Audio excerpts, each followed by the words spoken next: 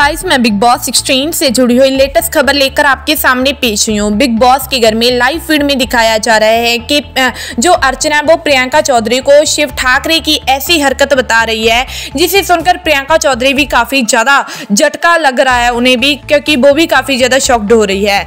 बात यह है कि जब से शिव ठाकरे को ये बात सलमान सर ने कह दिया है कि तू आजकल दिख नहीं रहा, तभी वो बार बार अर्चना को प्रियंका चौधरी को टारगेट करने में लगा हुआ है। उन्हें ऐसी बातें कह रहा है, जिस वजह से घर में लड़ाई हो और कहीं ना कहीं शिव ठाकरे को फुटेज मिल जाए। और ऐसी के दौरान जब अर्चना देर रात प्रियंका चौधरी के साथ बात करती रहती है और उसी के बाद अपने रूम में आती है तो वो जानबूझकर ज़ोर ज़ोर से चमचा चमचा कहकर चिल्लाने लग जाता है।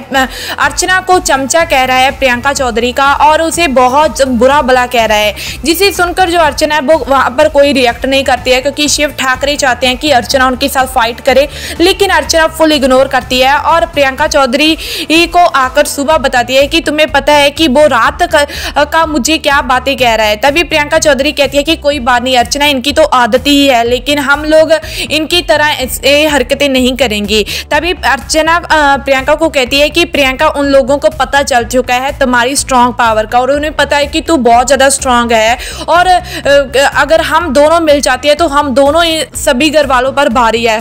तो इस वजह से ना जो शिव ठाकरे है वो जानबूझकर हम दोनों को ही टारगेट करने में लगा हुआ है। तो प्रियंका चौधरी कहती है कि कोई बात नहीं अर्चना, लेकिन हम इसे कोई भाव नहीं देंगे। आई होप आपको भी शिव ठाकरे की ये हरकतें काफ़ी ज़्यादा अजीब लग रही होगी। आपकी क्या राय है? प्लीज़ हमसे शेयर ज़रूर कीजिए।